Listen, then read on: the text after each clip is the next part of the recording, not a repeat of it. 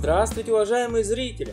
5 декабря 1941 года начинается советское контрнаступление под Москвой, в ходе которого враг был отброшен от стен столицы, до которой местами было менее 20 километров.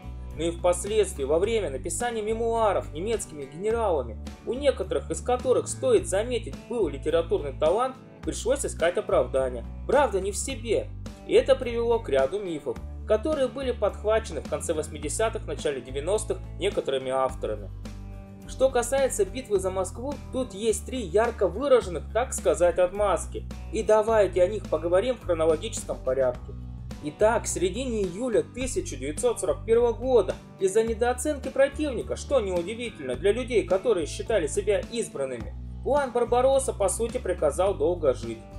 Группа армий «Центр» в частности застряла под Смоленском и понесла значительные потери. Ни о каком броске на Москву речи быть не могло в тот момент.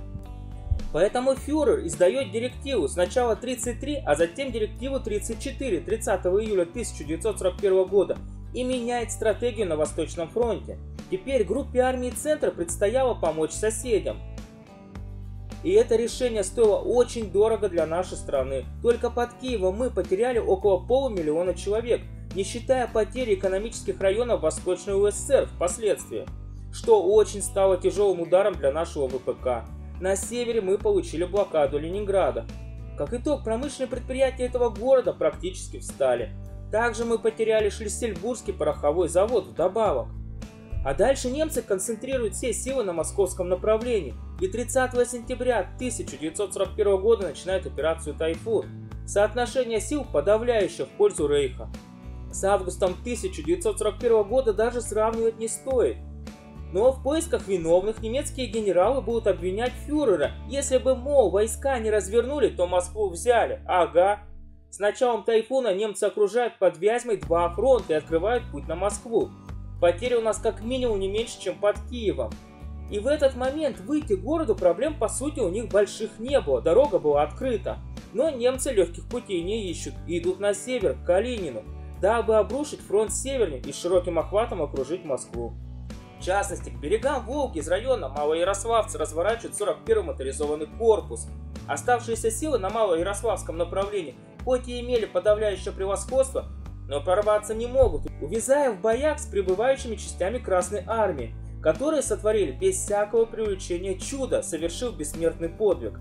К 17 октября 1941 года и под Калинин приезжают резервы Красной Армии, и немецкий прорыв оказывается запечатанным после чего следует перегруппировка, как итог пауза.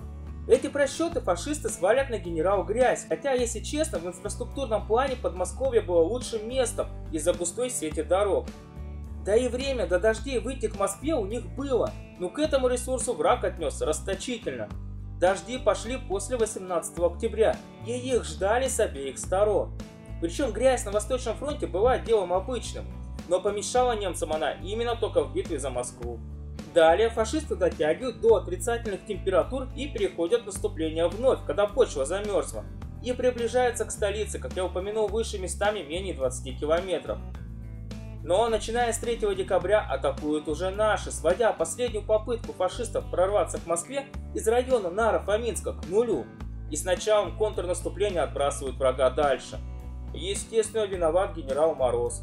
А то, что немецкая разведка сообщила о шевелениях наших тылах, и крупных силах в Берлине отмахнулись, хотя в принципе сведений хватало для точной оценки ситуации. Разведка врага на этот раз сработала отлично. Но командование вермахта считало, что у Красной Армии сил нет, войска выдергивают с других участков фронта и готовились сами наступать. Но наши ударили 1-5 декабря 1941 года и застали врага врасплох, который находился в наступательной конфигурации, что привело к быстрому обвалу фронта.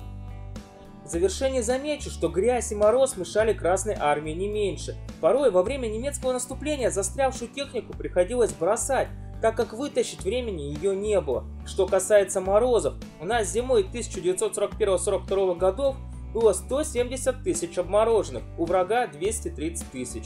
А у меня на этом все. Всем желаю крепкого здоровья, до скорых встреч, до свидания.